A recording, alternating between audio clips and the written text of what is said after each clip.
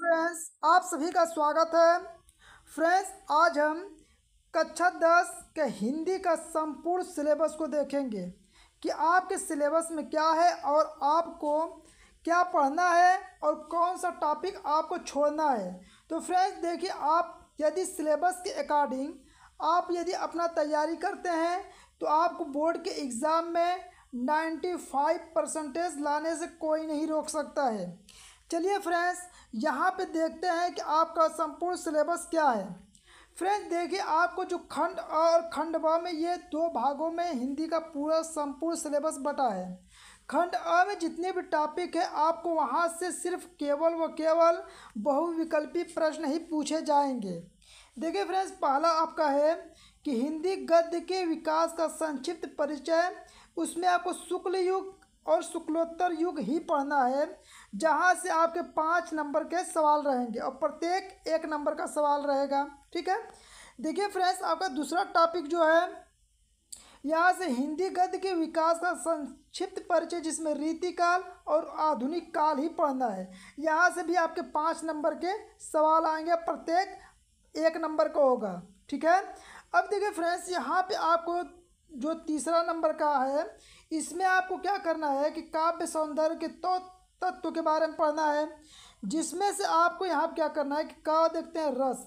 रस में दो, सिर्फ़ आपको दो ही रस पढ़ना कौन सा? हास्य रस और करुण रस को ही पढ़ना है, जिसमें उसका परिभाषा, उदाहरण और पहचान आपको आना चाहिए। इससे आपके बोर्ड के एग्ज़ाम में एक नंबर का सवाल आएगा। अलंकार है। देखिए फ्रेंड्स जो आपको अलंकार पढ़ना है, वो अलंकार उपमा अलंकार पढ़ना है, रूपक अलंकार उत्प्रेक्ष अलंकार। इसका लक्षण और उदाहरण आपको आना चाहिए। यह भी आपके एक नंबर का सवाल आपके बोर्ड के एग्ज़ाम में आएगा। फ्रेंड्स इसके बाद आपका अगला पॉइंट है, छंद। छंद में आपको क्या करना है? सोरठा और रोला को पढ़ना है, जिसमें इसके लक्षण आपको आना चाहिए और इसका पहचान आना चाहिए और साथ में इसका उदाहरण भी आपको आना चाहिए। इससे भी आपके बोर्ड के एग्ज़ाम में एक नंबर का सवाल आएगा। तो फ्रेंड्स, इस प्रकार से रस से, अलंकार से और छंद से आपके तीन प्रश्न पूछे जाएँगे और बहुविकल्पी प्रश्न ही ये होगा, ठीक है? अब चलिए फ्रेंड्स, अगले टॉपिक को देखते हैं। अगला टॉपिक आपका है हिंदी व्याकरण। जिसमें शब्द रचना के बारे में पढ़ना है। जैसे आपको उपसर्ग पढ़ना है, उपसर्ग में जैसे अ, अन, अधि, अप, अनु, उप, सह, नीर, अभि, परि, सु इत्यादि से बनने वाले शब्दों के बारे में आपको पढ़ना है। उपसर्ग के बारे में आपको पढ़ना है पूरा डिटेल से। देखिए, ख वाला ऑप्शन, ख है आपका समास। समास में जो पढ़ना है फ्रेंड्स, आपको द्वंद्व समास द्विगु समास और कर्मधारय और बहुब्री इस प्रकार से टोटल कितने समास पढ़ना है आपको? चार समास ही पढ़ना है।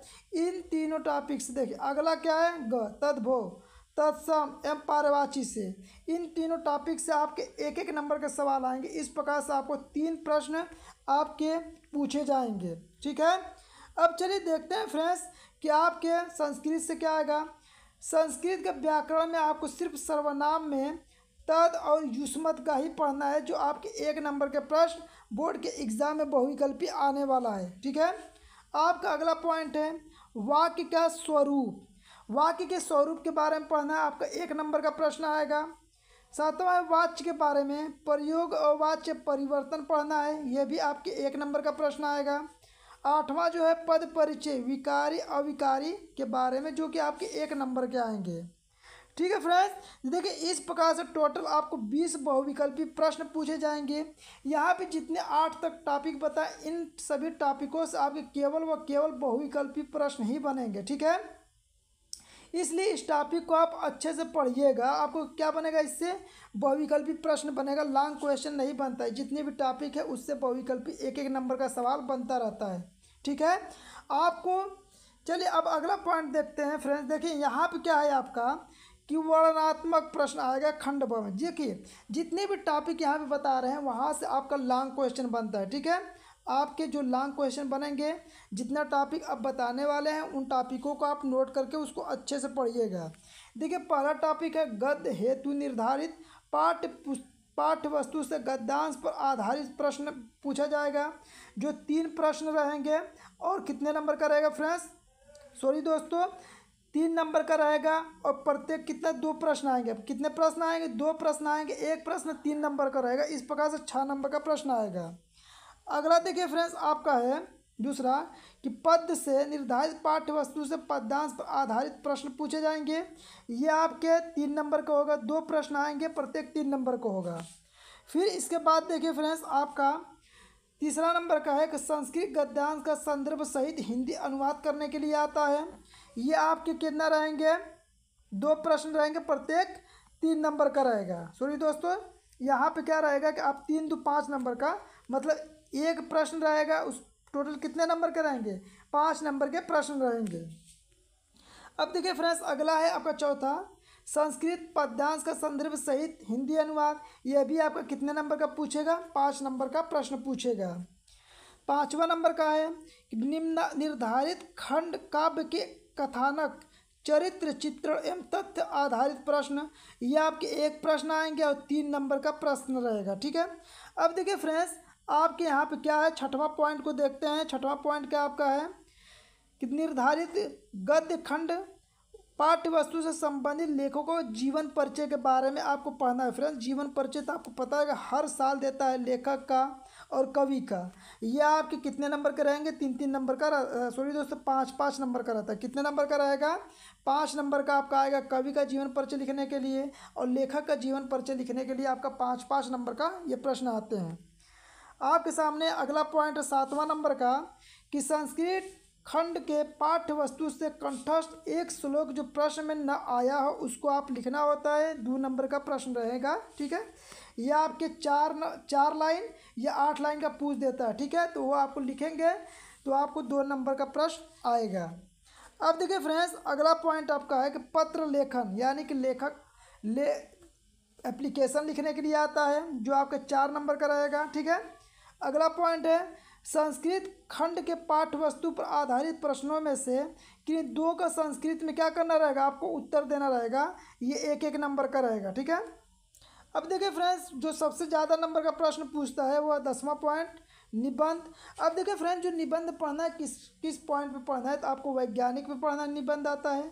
सामाजिक विज्ञान, धार्मिक पे, सांस्कृतिक, आर्थिक, समस्या एवं जनसंख्या स्वास्थ्य, शिक्षा, पर्यावरण एवं यातायात के नियमों पर आधारित जो विषय हैं, उस पर निबंध आता है, वो लिखना रहेगा, जो आपका सात नंबर का प्रश्न ही आएगा। तो इस प्रकार से पचास नंबर के आपके क्या हो गए? लिखित हो गए। और बीस नंबर के बहुविकल्पी हो गए। तो देखिए फ्रेंड जितने भी टॉपिक बहुविकल्पी वाले हैं, उन टॉपिकों को अच्छे से पढ़िएगा, उससे केवल व केवल बहुविकल्पी ही बीस नंबर का पूछा जाएगा। और जो टॉपिक यहाँ पे आपको बताएँ, दसवें पॉइंट तक, वहाँ से आपको लॉन्ग क्वेश्चन पूछता है, जिसमें आपको डिटेल से आपको लिखना रहता है। अब देखिए फ्रेंड्स यहाँ से आपको पता होगा कि आपका तीस नंबर का क्या होता है? प्रैक्टिकल है। यहाँ पे सभी पॉइंट को आपको एक बार दिखा देते हैं। सिर्फ़ इसको आप पढ़ लीजिएगा। ये आपको क्या होगा कि स्कूल के द्वारा, जिस स्कूल में आप पढ़ रहे होंगे, उस शिक्षकों के द्वारा ये सभी आपको प्रैक्टिकल करवा दिया जाता है, जिस पर तीस नंबर का आपको प्रैक्टिकल का मिलेगा। तो इस पॉइंट को बस इस तरह स्क्रॉल करते चले जा रहे हैं। इसको आप एक बार पढ़ के देख सकते हैं कि किस पॉइंट पे आपको पढ़ना है, ठीक है?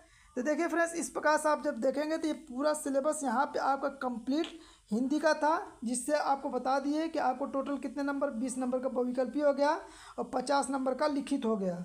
ठीक है? तो फ्रेंड्स, देखिए इसी प्रकार से सब सब्जेक्ट का यदि आपको सिलेबस चाह रहा है तो आप कमेंट बॉक्स में ज़रूर लिख दें, जिससे आपको प्रत्येक सब्जेक्ट का आपको सिलेबस अपलोड कर देंगे और सिलेबस के अकॉर्डिंग ही आप अपनी तैयारी कीजिए, जिससे आप बोर्ड के एग्ज़ाम में नाइन्टी फाइव प्रतिशत आसानी से नंबर प्राप्त कर सकते हैं। तो फ्रेंड्स, आपको ये वीडियो पसंद आए तो वीडियो को लाइक करें, चैनल पर नए हैं तो चैनल को सब्सक्राइब करें।